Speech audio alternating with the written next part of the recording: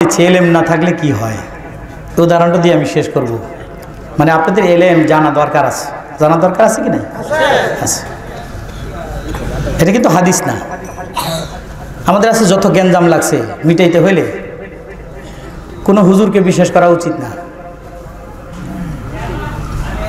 কোনো লম্বা দাড়ি দেখলেই বিশ্বাস করে একেবারে পড়ে যায় না।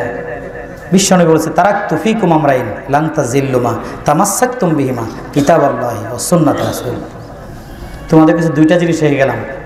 এর মধ্যে কোনো ব্যক্তি আছে? কোনো পিসাব? কোনো জসাব কোনো দেশ? কিচ্ছু নাই। মক্কা মোকারমার নামও নাই, আছে নাকি?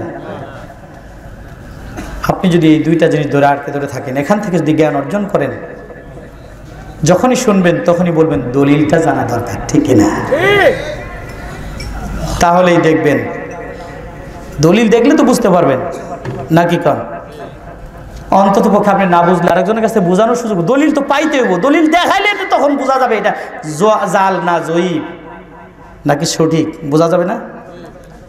এলেম না থাকলে আমাদের যে অবস্থাটা হয়, এক ব্যক্তি জীবনে কোনোদিন আয়না দেখে নাই। কি দেখে নাই? আয়না। তো হাল চাষ করতেছে, হঠাৎ করে লাঙ্গলের গুতা লাগে একটা আয়না ভেসে উঠছে। তা আয়না যখন বেশি উঠছে, সূর্যের আলো পড়ছে, তখন কি চিকমিক করে না? তো তার চোখের মধ্যে জিলা লাগছে। আমার জমিনের মধ্যে কি আইলো রে? চোখের মধ্যে জিলা লাগল, আগায় যায় দেখে, কি যেন চকচক করে। মুসার পরে দেখা যায় রে আব্বারে দেখা যায়। তার মানে ওর চেহারাটা ওর বাপের মতো ছিল। চোখের পানি ছেড়ে দিয়েছে। চোখের পানি ঝরঝর করে পড়ে। হাল চাষ বন্ধ করে দিয়েছে। আব্বা কতদিন তোমারে দেখি না আজকে তুমি আমার ক্ষেতের মধ্যে কেমনে আইলা? ওর চিন্তা একটাই, আব্বা কেমনে ক্ষেতের ভিতরে আইলো? হ্যাঁ এখন খাওয়া দাওয়া বন্ধ, কাজ বন্ধ, বউয়ের সাথে কথা বলাও বন্ধ। বউ চিন্তা করে, স্বামী আমার হাসি মুখে গেল খেতে। কাজ করে আসে এখন কথা বলে না, কারণটা কি? দেখে যে একটা কি যেন বালিশের নিচে রাখে, আবার বের করে, আবার রাখে, আবার বের করে। চিন্তা একটাই, চোখের পানি টপ টপ করে পড়ে। কিন্তু লক্ষ্য করে দেখল, স্বামী যখন সরে গেছে, তখন ওটা নিচ থেকে বের করে দেখে ওর মধ্যে একটা সুন্দর যুবতী মেয়েরে দেখা যায়। বুঝছি, এই জন্যই তো তুমি এর প্রেমে পড়ে আমার সাথে কথা কর না। হ্যাঁ ও কান্নাকাটি শুরু করে দিচ্ছে আরে ভালো স্বামী খেতে যায়, কি একটা মহিলার নিয়ে আসলো, আমার সব ভুলে গেল। শাশুড়ি কয়, কে সে বৌমা, তুমি কান্দ কে? তোমার কি হয়েছে? কয় মা কয়েন না। এই যে আপনার ছেলে, এত ভালো সম্পর্ক ছিল, কিন্তু দুই দিন যাবৎ কথা কয় না। দেখলাম বালিশের নিচ থেকে বের করে আরেকটা মেয়ের প্রেমে পড়ে গেছে। এই জন্য আমার সাথে কথা কয় না। তাই নাকি? আচ্ছা দেখি, আমার কাছে নিয়ে আসো দেখি। শাশুড়ি আর কোনো দিন আয়না দেখে নাই বউও দেখে নাই।